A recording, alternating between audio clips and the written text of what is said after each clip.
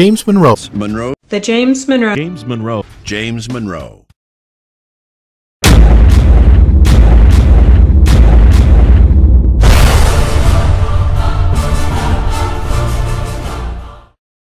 It all began in Westmoreland County, Virginia on April 28, 1758, the birth of our fifth president, James Monroe. Monroe's family immigrated from Scotland. Monroe's father, Spence Monroe, had been a prosperous farmer. Like almost any other prosperous family, slaves were generally involved. Monroe had been tutored and homeschooled by his mother until age 11. From 1769 to 1774, he attended Campbelltown Academy, which had been considered as the best school in the entire colony of Virginia. After his father died, he decided to attend the College of William and Mary in January of 1774 with the intention of studying law. Eldest of seven children, he was expected to inherit his father's estate merely at the age of 16. But it all changed when the British attacked. Monroe dropped out of school to join the American forces in the revolution against the tyrannical rule of King George. At the age of 18, he became an officer in the Continental Army. His first battle had been at the Battle of Lexington and Concord. In addition, James Monroe had accompanied George Washington at the Battle of Trenton, but he was severely wounded, eventually ending his tenure as a soldier. I am General Washington. Listen to me. Listen to me. In a few hours, we will march south to attack Trenton. If word of this gets out, hundreds of my men will die. You will be detained for three hours after we march, then you will be set free. I am sorry that you are suffering, but we are all suffering. As the protege of Thomas Jefferson, Monroe resumed the study of law under his guidance. This resembled the beginning of a lifelong relationship that would soon become of his tutelage. He officially began his practice of law after completing the bar exam in Fredericksburg, Virginia.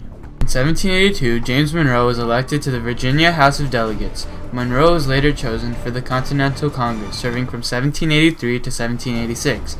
During his service as a congressman, he addressed his concern for the Constitution, noting that the ability to amend it and the inclusion of Bill of Rights were both necessary.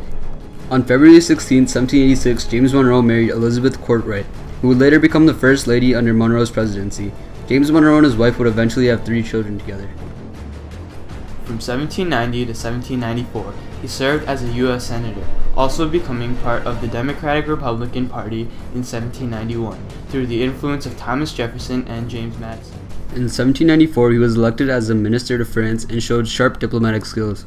While in France, Monroe was able to free Thomas Paine and other American prisoners. While in France, Monroe supported the French Revolution in his efforts to preserve America's neutrality in the conflicts between the French and British. George Washington disproved his actions and sent him back to America.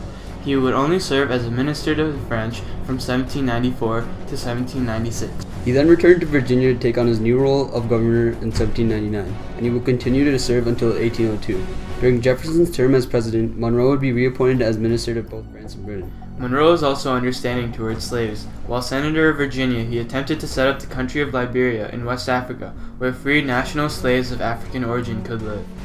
In 1803, he would eventually help negotiate alongside Robert Livingston the greatest real estate deal in the history of the U.S., the Louisiana Purchase. With the intentions of going to France to merely purchase New Orleans for $10 million, he was granted with the offer of taking the entire Louisiana territory for just $15 million.